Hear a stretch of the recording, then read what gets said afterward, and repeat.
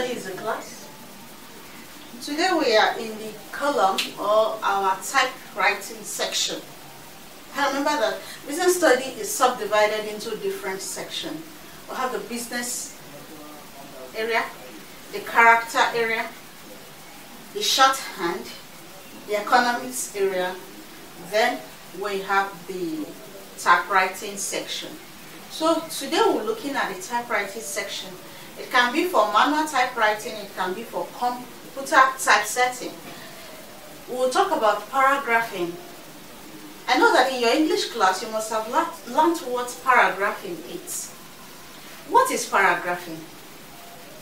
It just implies a paragraph that holds an idea. The process of writing and your idea in a point. After you are done with an idea and you are going to another idea, you take another paragraph. And so I summed it up as a paragraph is a clear division of a piece of writing. It focuses usually on a single subject, a single subject matter, and is separated from other parts of the writing by a new line or indentation.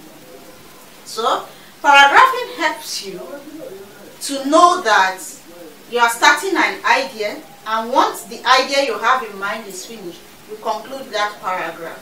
And when you have another idea, you're starting another paragraph to put up the idea. It makes you to write in a clear form.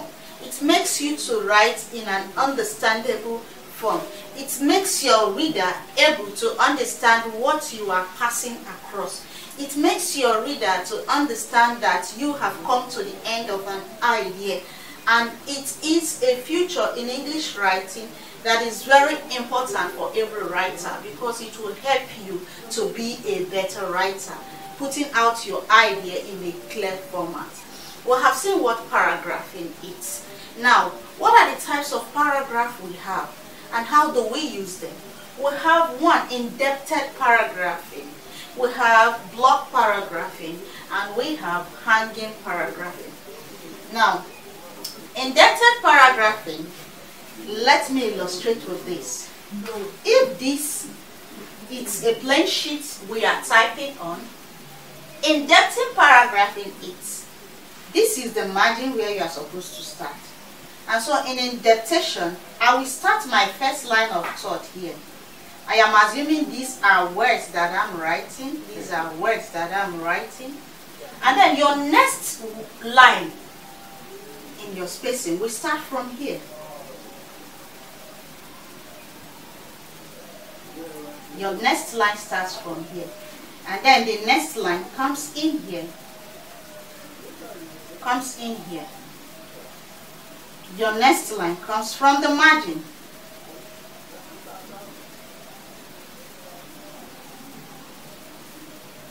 So this is indenting.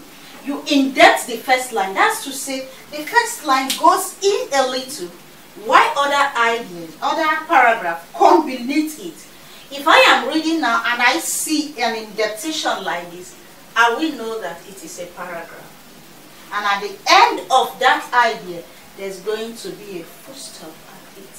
So this is an indented kind of paragraphing, where the first line goes in, in depth inside. That is indenting paragraph. Now, we're going to the next one. Let's see the next type of paragraphing. We have block. Like a block sheet, everything starts at the margin.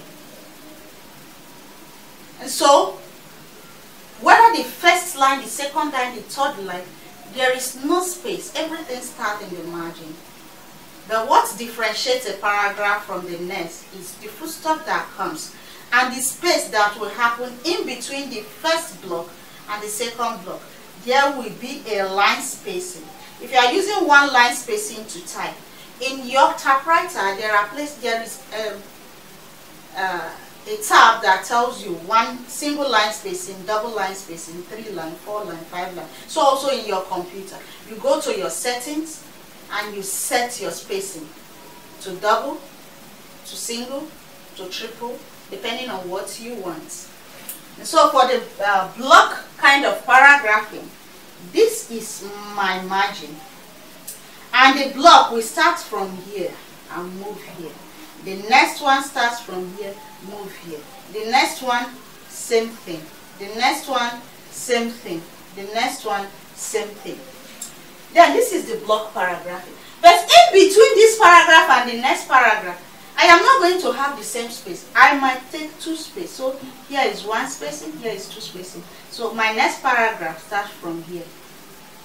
If I am a reader and I see this full and I see two lines in between the first and the second paragraph, even if they are blocked, because there is a more larger space in between this line to the next paragraph and you have here, I will know that the first item is over, the first paragraph is over, and the next one is a second paragraph.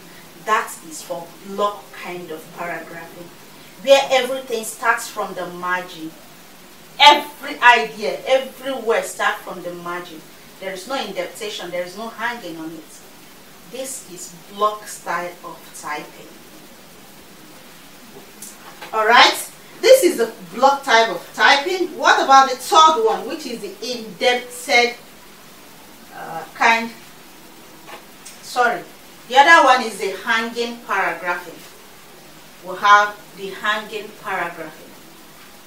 What does the hanging paragraphing means? Let's find out. Hanging paragraph. Let me let me explain with the use of an example. This is our margin. In the hanging paragraph, my first word starts from here. My first word starts from here. My second line will start from here.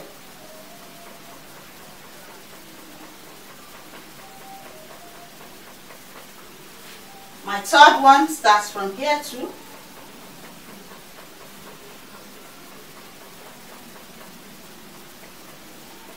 This is the hanging. So if I'm typing the next paragraph, I'm still going to start from the margin.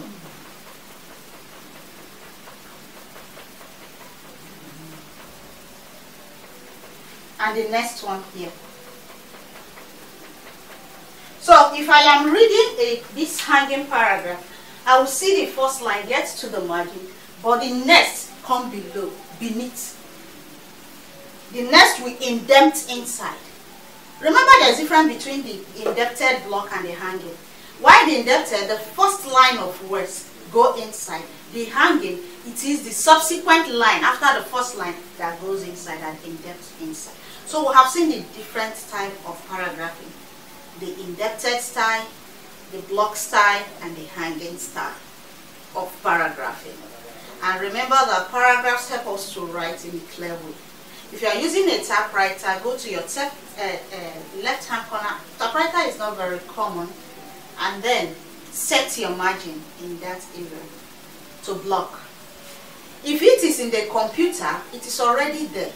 In your Microsoft Word where you want to type, go to your setting, pick your paragraphing style, you will see it's already formatted there as block, indented, or hanging click on the type, the style you want to write from and start typing. So this is what we have for our class for today, paragraphing. We've seen what paragraphing is and we've seen the different types of paragraphing. So anytime you are writing, choose the style you want to write with. If it is block, the block style, the hanging style, or the indented style. Thank you for being in our business study class for today, where we discuss business issues because in business we do a lot of typing, in business we do a lot of accounting, in business we do a lot of character development, in business we do a lot of appraisal. So please watch our business study class, try to implement these things you learn in your business and be a better business person. Thank you for dropping by. Subscribe if you've not subscribed.